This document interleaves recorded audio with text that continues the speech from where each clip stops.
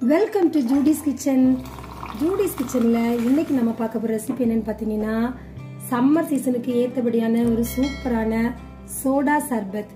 இந்த ட்ரிங்க் செய்கிறதுக்கு என்னென்ன தேவையான பொருட்கள்னு பார்த்தலாம். சோடா நன்னாரி சர்பத் எலுமிச்சம்பழம். இப்போ நம்ம இதை எப்படி பண்ணுறதுன்னு பார்க்கலாம்.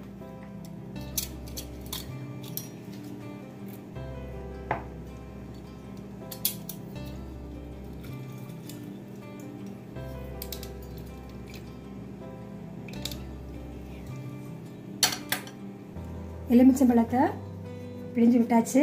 இப்போ சர்பத் சேர்த்துலாம்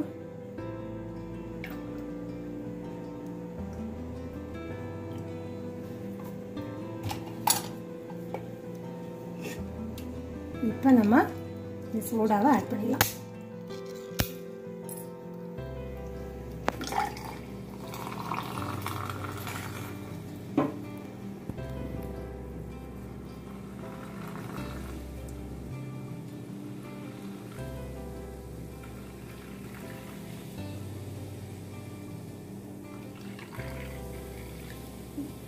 மொத்தமாக ஊற்றிடக்கூடாது அப்படியே எல்லாம் கீழே வந்து பொங்கி வழிஞ்சிடும் கொஞ்சம் நிதானமாக பார்த்து இந்த மாதிரி சேர்த்துட்டு ஒரு ஸ்பூனால் லைட்டாக அப்படியே கிளறி விட்டுறோம்.